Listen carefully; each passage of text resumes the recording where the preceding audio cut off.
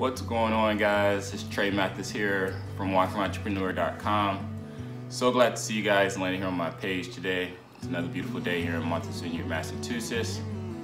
Today I wanted to talk with you guys a little bit about a problem I have with network marketing. I did a video not too long ago about what network marketing is. Share with you guys a little bit about my story in network marketing I'm having a little challenge. I want to share it with you guys so that you don't have that challenge as well. So let's go ahead and get started. This is the Wi-Fi Journal.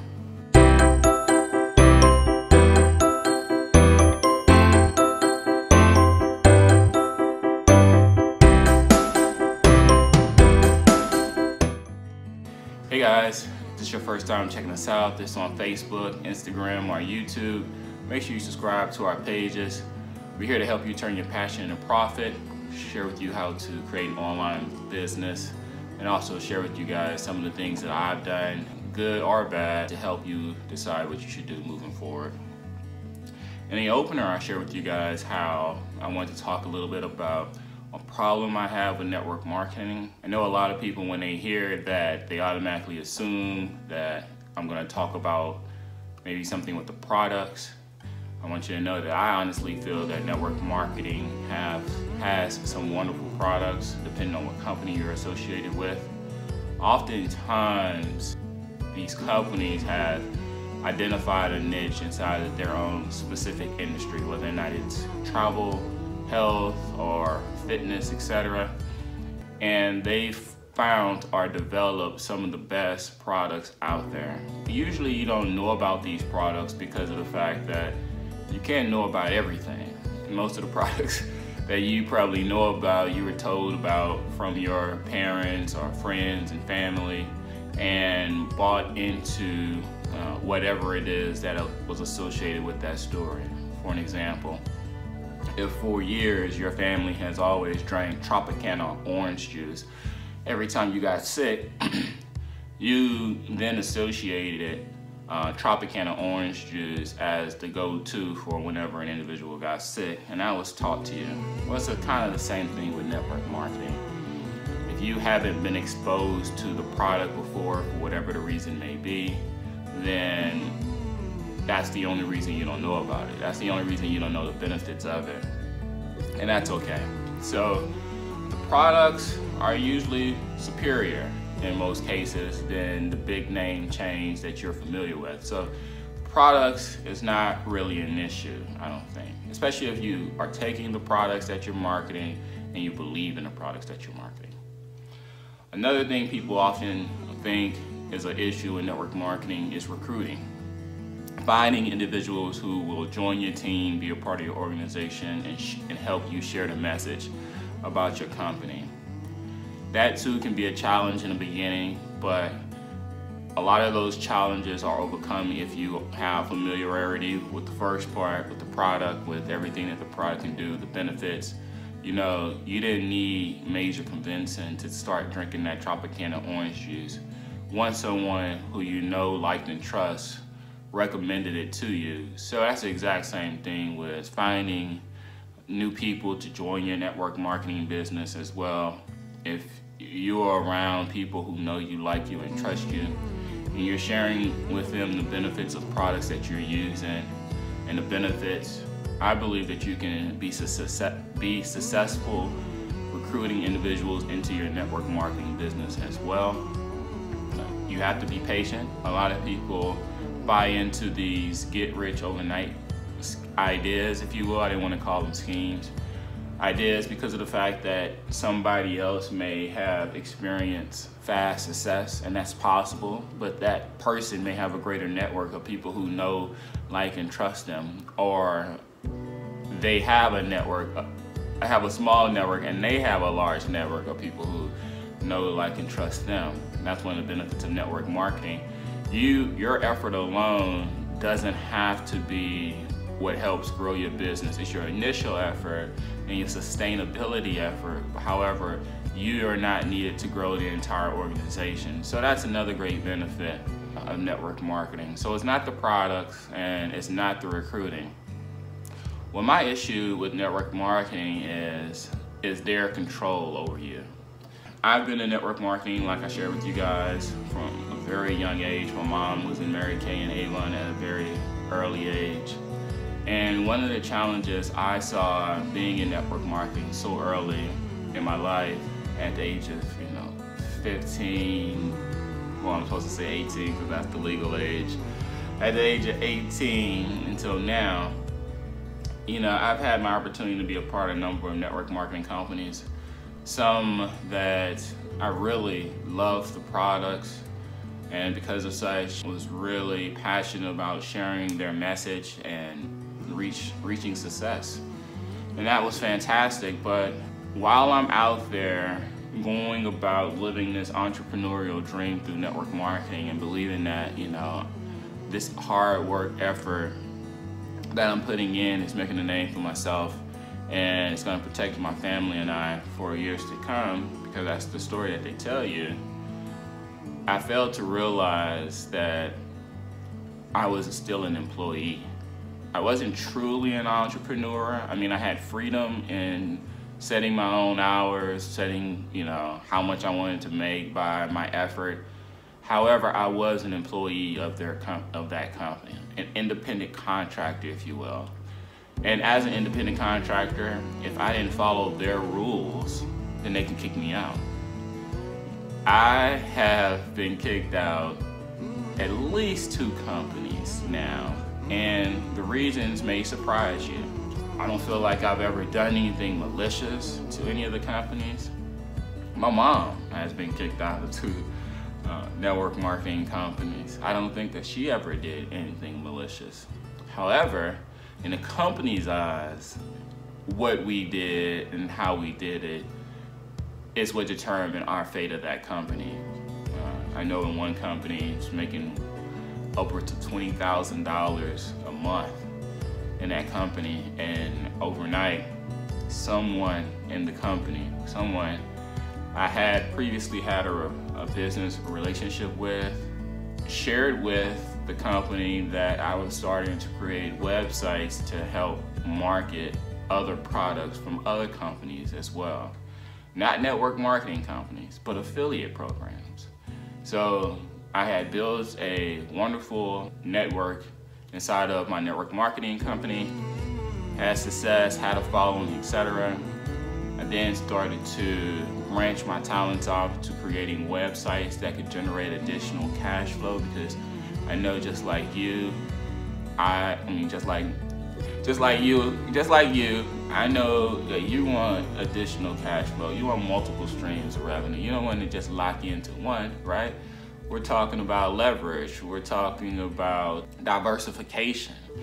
And you want to be prepared, prepared, protected. You know, what if that company were to burn down? I want to be protected still. You know, I'm still working hard. I still want to succeed in what I'm doing, right? So I may have to be like, yo, I got to go do something else. So with that being said, I thought to myself, I better start, you know, using my steps to learn a little bit more about affiliate marketing. And that's what I did. Nonetheless, someone contacted the company about it and told them that I was doing affiliate marketing and they shut me down. Overnight, shut me down. So that was pretty, pretty surprising to overnight lose $20,000. Now, uh, $20,000 a month. Now, I'm not gonna lie and say that didn't take me out. It did take me out for quite a while. I had to regroup, determine what uh, the lessons from that was. Um, and then once I learned the lessons, realized that I need to get back to work. And that's why I'm here now. And with that, I started to do affiliate marketing full time uh, as far as where my energy and effort went. I realized that if I were to create a brand for myself that allowed me to market multiple products through affiliate marketing, no one company could ever take me down again. I would then share, you know, multiple affiliate marketing programs and products. Therefore, that if, if I ever had an issue with one, it would be okay because my website would be generating traffic and I would just find a new offer to plug those individuals to. I know I've heard reports about Amazon shutting people down. The FBA, if you guys are familiar with that, we probably do a conversation about that. But a lot of people are looking to start drop shipping with Amazon. And they may be surprised that you can have a multiple six figure income uh, being generated through Amazon. And if for whatever reason they don't like the practice in which you're following, they'll shut you down. Now, one of the things that I realized about affiliate marketing that I, excuse me, uh, network marketing that I took over with me to affiliate marketing is that oftentimes in these network marketing companies, they're just branded affiliate marketing companies, meaning they have an assortment of products. Let's say we're dealing in healthcare. They may have products for your home. They may have products for like brushing your teeth, headaches, or any of the things, you know. And they don't manufacture those products themselves. They actually outsource or find places that can manufacture those products. They then ship those products to their warehouse, put their name uh, on it, their brand behind it, and then encourage people to go out there and market. That realization helped me understand that they're nothing more than an affiliate marketing company just like myself. Now, I understood when that company kicked me out because they said that I started to do affiliate marketing on the side. That company had strict rules about not making any money outside of them. You, they, they're the only ones that's gonna feed your family. you know, that's foolish. but nonetheless, I moved on. Um, I actually you started using the same technique that I'm sharing with you guys now about creating an online brand and business. I use that to start a new uh, website. I have more websites than just Wi-Fi Entrepreneur, of course. And in those websites, I've marketed some of the healthcare products and so on and so forth. I want to share with you guys that last night, this is a long video. I wanted to share with you guys last night, man, I got contacted by uh, the corporate office of one of the companies that I'm associated with. They said they found me on the internet and they have strict rules about their products being represented on a website that's not controlled and operated by their company. So they gave me an option they contacted me and told me that either one, I take the website down completely, or two, I guess it's one and two, and two, I transfer the information that they found on my website to their now controlled website if I choose to want to continue to market with them. I just think that's rude. I told them, I'll stop marketing your products, period. Because that's all that matters. What matters to me is the brand. Making sure that my brand is is meeting the needs of my target audience. So the conversations I share in my blogs, uh, the stories and conversations I share in my videos, they're all meant to help individuals. Now, in that, I have ran across information or products or services that I feel that can assist individuals in meet in reaching their goals. If they're watching the video or reading the blog and they see, you know what, I have this issue, I can understand what they're talking he's talking about. Where can I fix can, where can I solve my problem? Then I want them to click the link in the description box and go to it. However, you know, if that company doesn't want me to market their products, no problem. I'll market other people's products then. I'll just plug someone else's toothpaste into the website that I believe in offers benefits to my readers. You know, I'll plug in some other all natural um, cleanser, if you will, uh, to my website if it's going to help someone because this company doesn't want me to do it that way. See, and I think that's kind of crazy. You know, I feel that if you can find me on the internet then I'm doing something right. And if I'm doing something right, I'm sharing your message with more people, which is what you give me a commission to do. And if you want to kick me out because of the fact that I'm not going door to door, knocking on doors, doing it the old school way, you want to kick me out because I'm not doing, because because I decided to do attraction marketing where I can sit in the comfort of my, of my home, share your message, reach thousands day in and day out, then I just won't market your product. I'm gonna stay true to my brand and I'm gonna continue to move forward because the hundreds, thousands of people who visit the website daily, you know, now are into the future.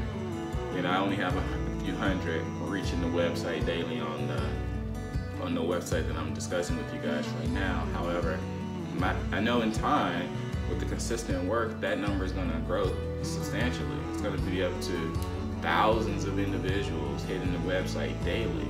And those people are gonna wanna ha- wanna solve their problem and I'm gonna be there. I'm not gonna shut my site down. I'm not gonna let go of my personal effort because you want to mute me. So that's my problem with network marketing. They're always trying to mute somebody. They always trying to shut you down. Not always trying to shut you down, but the fact that they can shut you down. That's the number one thing. Just the fact that they can shut you down is a reason why you should be prepared. Just like with your nine to five job, if they can fire you, then you need to be prepared.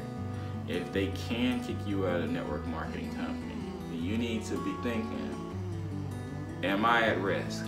Am I is this where I want to be? Do I want to be at a place where my fate is in the hands of someone else? I don't want to be that person. I encourage you guys not to as well. I encourage you to check out affiliate marketing. Create your own brand. Find the products that represent your brand to the best of, the, of their ability and then share those products with the masses. Hope this information is helpful to some people. Uh, hope my story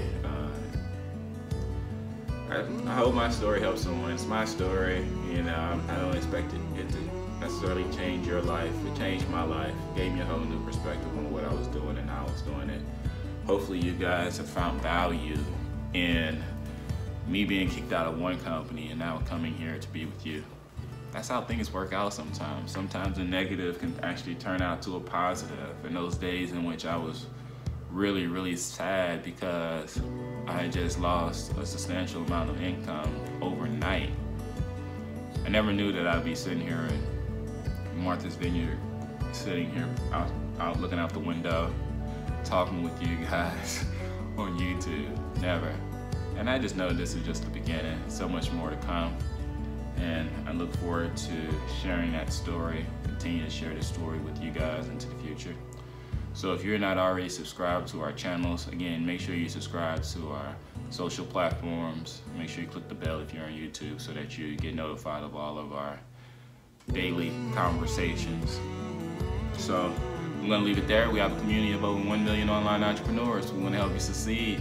Information to join the community is down below. We have tons of information down below, I'm sure. Check it out, see what you need. Till we talk again, take care, and be blessed.